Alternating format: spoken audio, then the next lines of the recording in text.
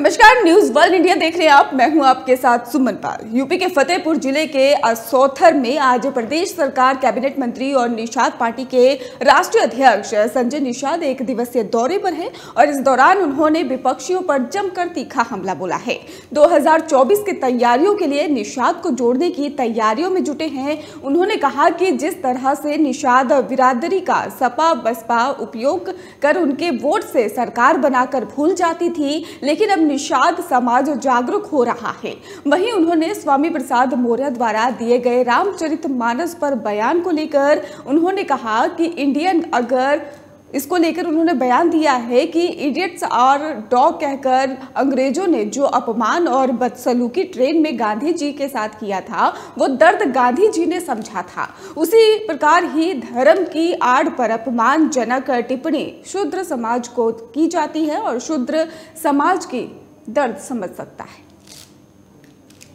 मार्ग बन रहा है तो निश्चित रूप से अगर जो आपका है। ये ऐसे ही काम जैसे कोई जो है कोई वीआईपी या मंत्री जब आने होते हैं ऐसे ही जो है काम स्टार्ट कर दिए जाते हैं। वो अभी और बार ये वो जो है अभी काम स्टार्ट होकर बंद हो अभी आप देखो कितना अच्छा सड़क बन रहा था उसका भी देखे ध्यान। निश्चित रूप से निश्चित रूप से जो हमने पिछली सरकारों ने सरकारों ने जो छोड़ गए थे अब हम कैसा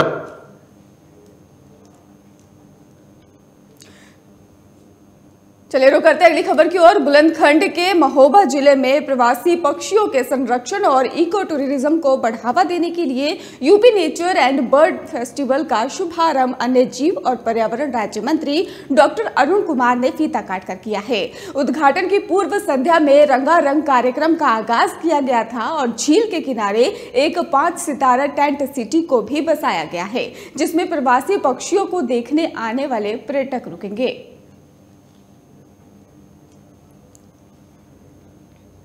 संभल में भारतीय किसान यूनियन अराजनीतिक असली के जाम के ऐलान को पुलिस ने विफल कर दिया है।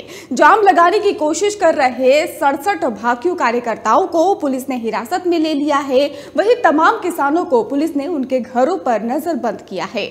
आपको बताते चले कि किसानों ने गन्ना मूल्य 450 घोषित करने की मांग को लेकर 2 फरवरी को प्रदेश व्यापी जाम का ऐलान किया था। किसानों के आह्वान पर पुलिस प्रशासन चौकन्ना नज़र आया है।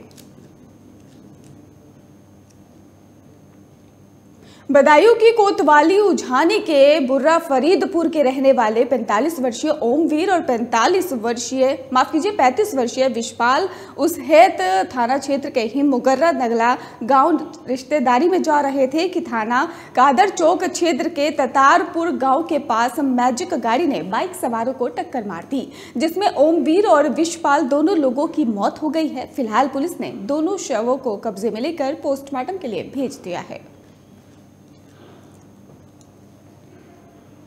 पुलिस के द्वारा करीब 15 सालों से फरार चल रहे एक वांछित अभियुक्त को गिरफ़्तार कर लिया गया है। प्रेस वार्ता में सहारनपुर के एसपी सिटी अभिमन्यु मांगलिक ने जानकारी देते हुए बताया है कि मुखबिर की सूचना पर थाना सदर बाज़ार पुलिस द्वारा करीब पंद्रह वर्षों से ही फरार चल रहा था और एक वांछित अभियुक्त श्री प्रसाद पुत्र जानकी प्रसाद को गिरफ़्तार किया गया है। उन्होंने बताया है कि सहारनपुर के एसएसपी डॉक्टर विपिन टाडा के द्वारा ही गिरफ़्तार करने वाली पुलिस टीम को पच्चीस हज़ार नगद पुरस्कार से पुरस्कृत भी किया गया है और गिरफ़्तार अभियुक्त को जनपद बांका बिहार से 48 घंटे के टूरिज़्म रिमांड पर लेकर न्यायालय में पेश किया जा रहा है। वंचित अभियुक्त को गिरफ़्तार करने वाली टीम में उप निरीक्षक गौरव चौहान, कांस्टेबल अंकित यादव कांस्टेबल कासिम मौजूद रहे। बाज़ार की टीम ने एक पच्चीस हज़ार रुपए के इनामी को पकड़ा है। यह इनामी सन 2008 से वांछित था। उसके बाद इस पे धारा बयासी और तिरासी की भी कार्रवाई हो चुकी है। तो करीब 15 साल बाद जिला बांका बिहार से इसको ट्रांजिट रिमांड लेकर थाना सदर बाज़ार की टीम लेके आई है। क्या आरोप इसने ये क्या करते थे? चार लोगों का गैंग था। ये बिहार से आए थे और यहाँ पे दिल्ली रोड में एक वादी के घर में इन्होंने काम कर रहे थे डोमेस्टिक काम कर रहे थे और जब वो नहीं था वहाँ से चोरी कर लिए थे कुछ सामान। जिन पर आरोप था चोरी का आरोप था इन पे उसमें से एक अभियुक्त की मृत्यु का प्रमाण मिल चुका है। दो अभियुक्त अभी फरार हैं। उनके बारे में पता कर लिया गया है। जल्दी उनकी गिरफ्तारी हो जाएगी। सर जो सामान था वो भी बरामद बरामदगी इतने टाइम के टाइम बीत जाने की वजह से नहीं हो पाई है। तो सहारनपुर से आपको खबर बता रहे हैं, जहाँ पर पुलिस के द्वारा करीब 15 सालों से फरार चल रहे एक वांछित अभियुक्त को पुलिस ने गिरफ़्तार कर लिया है। और प्रेस वार्ता में ही सहारनपुर के एसपी सिटी अभिमन्यु मांगलिक ने जानकारी देते हुए बताया है कि मुखबिर की सूचना पर थाना सदर बाज़ार पुलिस द्वारा करीब पंद्रह सालों से फरार चल रहे एक वांछित अभियुक्त श्री प्रसाद, पुत्र जानकी प्रसाद को गिरफ़्तार किया गया है। उन्होंने बताया है कि सहारनपुर के एसएसपी डॉक्टर विपिन टाडा के द्वारा गिरफ़्तार करने वाली पुलिस टीम को पच्चीस हज़ार नगद पुरस्कार से सम्मानित भी किया गया है और गिरफ़्तार अभियुक्त को जनपद बांका बिहार से 48 घंटे के टोरिज्म रिमांड पर भी ले जाकर यहाँ पर न्यायालय में पेश किया जा रहा है और वंचित अभियुक्त को गिरफ़्तार करने वाले टीम में उप निरीक्षक गौरव चौहान, कांस्टेबल अंकित यादव, कांस्टेबल कासिम मौजूद रहे। तारामंडल मौजूद इस्पान मंदिर के ही कृष्ण भक्त गोलखर के सड़कों पर भ्रमण करते दिखे गए हैं और उनका उद्देश्य श्री कृष्ण की भक्ति को सबके अंदर जगाना है। इस दौरान कृष्ण भक्ति भी ढोल नगाड़ों के साथ, हारमोनियम के साथ ही कृष्ण भक्ति की करते हुए नज़र आए हैं। लोग आ रहे हैं अंतर्राष्ट्रीय कृष्ण भावना संघ, यानी स्कॉन जिसको बोलते हैं हरे कृष्ण आंदोलन। और हमारा गोरखपुर में सेंटर है। तारामंडल में दो वर्ष से। और ये आज निकल रहा है श्री हरिनाम संकीर्तन हरे कृष्ण महामंत्र का कीर्तन जिसकी शुरुआत भगवान चैतन्य महाप्रभु ने आज से साढ़े पाँच सौ साल बंगाल के मायापुर नामक जगह से की थी। इसमें कहाँ है? आज हमारे साथ हैं परम पूज्य भक्ति धीर दामोदर स्वामी महाराज जो कि अफ्रीका महाद्वीप के नाइजीरिया देश के लागोस शहर से हैं। अब खबर गाजीपुर से है, जहाँ पर पुलिस ने दो हेरोइन तस्करों को गिरफ़्तार कर लिया है। पुलिस ने पकड़े गए तस्करों से एक दशमलव बीस करोड़ की हेरोइन बरामद की है और बरामद हेरोइन एक किलो 200 ग्राम की है, जिसकी अनुमानित कीमत एक करोड़ बीस लाख रुपए बताई जा रही है। और पुलिस ने तस्करों को सादियाबाद थाना क्षेत्र के यूसुफपुर से गिरफ़्तार किया है। पकड़े गए तस्करों पर गैंगस्टर समेत मादक पदार्थों की तस्करी के कई मामले दर्ज है। पुलिस ने तस्करों के पास से सत्तर हज़ार रुपए नगद और दो लग्जरी गाड़ियाँ भी बरामद की है। हमारी स्वाट सर्विलेंस टीम तथा थाना सादियाबाद की टीम ने एक अच्छी सफलता प्राप्त की है। रात ये लोग चेकिंग कर रहे थे तो इन्हें सूचना मिली थी कि एक बिहार का बड़ा ड्रग तस्कर है जो यहाँ डिलीवरी देने के लिए आ रहा है। इस सूचना पे इन दोनों लोगों को सादियाबाद क्षेत्र में इंटरसेप्ट किया गया। वहाँ इनकी गिरफ्तारी की गई। जब इनकी गाड़ियों की और इनकी तलाशी ली गई तो इनके पास भारी मात्रा में हेरोइन करीब एक किलो 200 ग्राम हेरोइन दोनों के पास से बरामद हुई है। सत्तर हज़ार रुपये जो इसके लेन देन में इनका चल रहा था उसके और इनके दोनों की गाड़ियाँ, जिसे ये दोनों इस्तेमाल करते थे स्मगलिंग में। ये बिहार से लेके आया था, रामजी नाम का व्यक्ति। और दोनों पूर्व में भी एनडीपीएस में और विभिन्न अपराधों में अलग अलग थानों से जेल जा चुके हैं। वर्तमान में फिर इनके द्वारा यही क्रियाकलाप अपनाए जा रहे थे तो आज इन्हें गिरफ़्तार करके जेल भेजा जा रहा है तथा इन पर और गंभीर कार्रवाई गैंगस्टर एक्ट वगैरह बाद में की जाएगी। सर से इसने प्रेस का मुख लगाकर या प्रेस लगाकर जिस छदम कार्य कर रहा था तो ये कितने समय से ये कार्य कर रहा है? नहीं, इसमें से एक व्यक्ति जो अपराधी है। अब खबर पीलीभीत से है, जहाँ मोतिया बिंद का ऑपरेशन कराने गए बुज़ुर्ग महिला की आँख खराब हो गई। है दरअसल, यशमान कार्ड के तहत ही बुज़ुर्ग मरीज़ की आँख का ऑपरेशन कराया था और ऑपरेशन कराने के बाद बुज़ुर्ग ने आँख से दिखना जो है उसको बंद हो गया और इस दौरान बुज़ुर्ग ने चिकित्सक पर गंभीर आरोप भी लगाए हैं।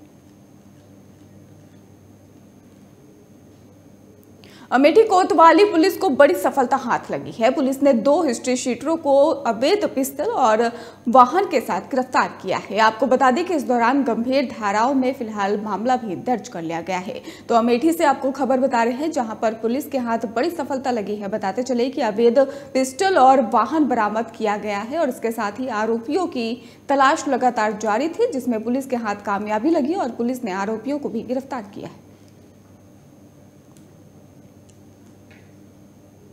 अब खबर काशगंज से है, जहाँ पर श्रद्धालुओं से भरी ट्रैक्टर ट्रॉली अनियंत्रित होकर पलट गई है, जिसमें हादसे में एक किशोर की मौत हो गई है और डेढ़ दर्जन लगभग श्रद्धालु घायल हो गए हैं। और हादसे की सूचना मिलते ही पुलिस प्रशासन की टीम मौके पर पहुँची। वहीं ये पूरा मामला सिकंदरपुर वेश्य थाना क्षेत्र के गाँव नगला तरसी का बताया जा रहा है। चित्रकूट पुलिस ने लाखों की चोरी का खुलासा कर दिया है और छह चोर को गिरफ़्तार भी कर लिया है। बताते चले आपको कि चित्रकूट के ही राजापुर में बीते उनतीस जनवरी को हुई चोरी का ही चित्रकूट पुलिस ने खुलासा किया है और दो नाबालिग चोरों समेत छह लोगों को गिरफ़्तार किया है, जिनके कब्जे से चोरी के नगद रुपए ग्यारह लाख छत्तीस हज़ार और सोना चांदी के जेवर भी बरामद कर लिए गए हैं। पुलिस अधीक्षक वृंदा शुक्ला ने जानकारी देते हुए बताया है कि घटना राजापुर थाना क्षेत्र के राजापुर कस्बे की बताई जा रही है।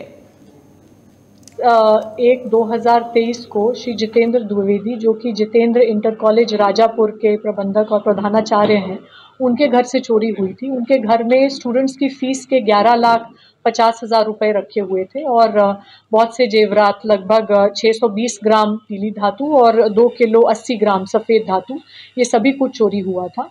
तो इसमें लगभग बहत्तर घंटे के अंदर पुलिस ने पूरी घटना का खुलासा कर दिया और इनसे जुड़े हुए छह अभियुक्तों की गिरफ्तारी हुई है और लगभग पूरे माल की बरामदगी हो गई है। सिर्फ़ उनतीस हज़ार रुपये इस पूरे में से अभियुक्त पक्ष द्वारा खर्च कर दिए गए हैं।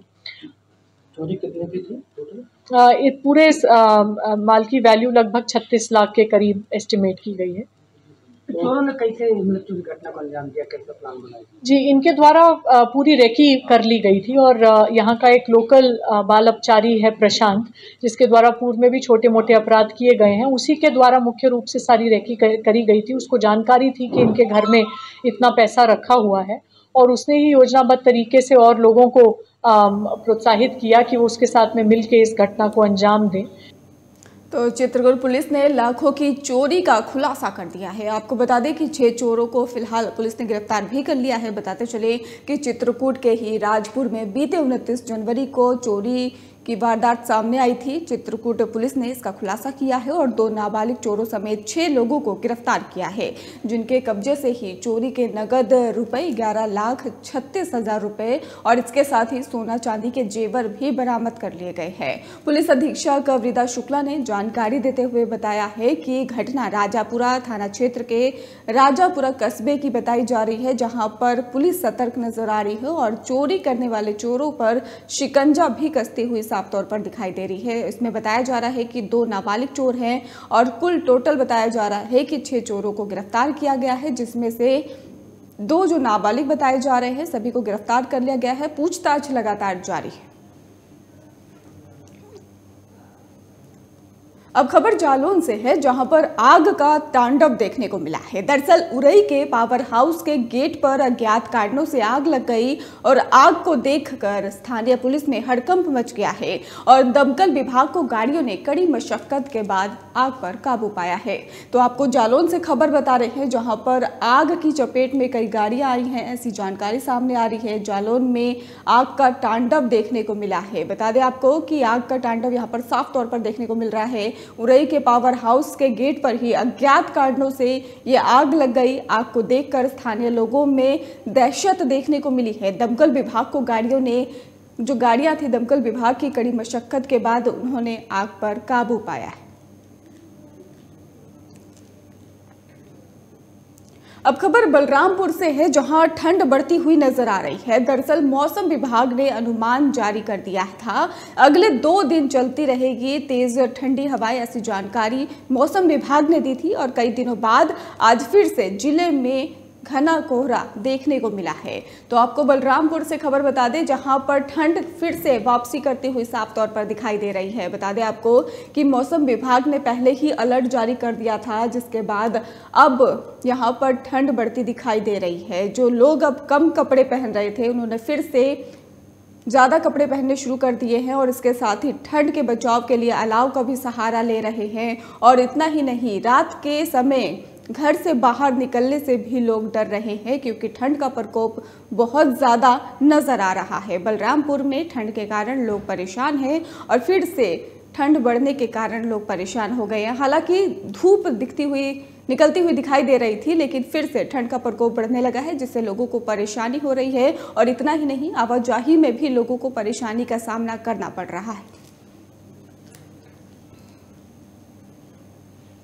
फ़िलहाल इस बुलेटिन में इतना ही। खबरों का सिलसिला लगातार जारी है। आप देखते रहिए न्यूज़ वर्ल्ड इंडिया।